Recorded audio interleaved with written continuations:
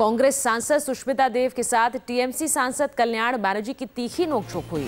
कल्याण बैनर्जी ने चिल्ला चिल्ला कर कहा कि हमारी नेता ममता बैनर्जी के बारे में यदि एक शब्द भी बोलोगे तो तुम्हारे नेता सोनिया और राहुल गांधी के बारे में हज़ार शब्द बोलूँगा।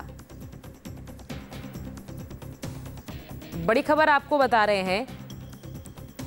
कांग्रेस सांसद सुष्मिता देव के साथ टीएमसी सांसद कल्याण बैनर्जी की तीखी नोकझोंक हुई है।